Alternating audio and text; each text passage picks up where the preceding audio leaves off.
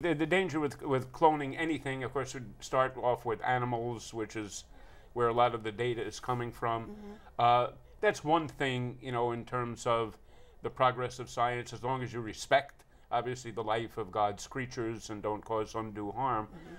But when you come to the, the, prospect of doing it from human beings, on human beings, the, then we run into all kinds of uh, moral objections that really are assaults on the dignity of the human person. What about critics that are accusing scientists of, of playing God? Do you agree with that? There's a difference between those interventions that are therapeutic and don't, do not involve the manipulation of persons, mm-hmm. uh, as opposed to something just to see what we can do. Can we produce, as it were, something that resembles uh, a human being?